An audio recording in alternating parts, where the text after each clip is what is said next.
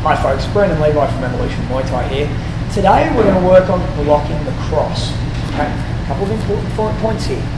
First thing, hands on top of the head. All right, we're going to use our arms like the bars of a cage. Okay, nice narrow gap there so they can't fit their fist through. Now this is the basic turtle guard.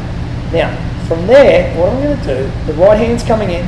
I'm going to bring my left elbow up in front of my nose. Now, very important point don't blind yourself. Don't do that. You can't see what's happening. Okay? You want to see the punches coming. You want to see your opponent. So just cover the left eye. Don't cover the right eye. Right? You can still see my eye, right? I can see you. Now, when the punch comes in, I block it. Okay? Notice, I didn't block it solid. I deflected the punch. That way, I'm not absorbing absorbing any of the impact it's deflecting away, it's not hurting me, and I'm hopefully making her lose balance a little bit so I can counterattack. One more. There it is. Okay? Very simple, very easy. Practice it till you get it right. It'll save your ass.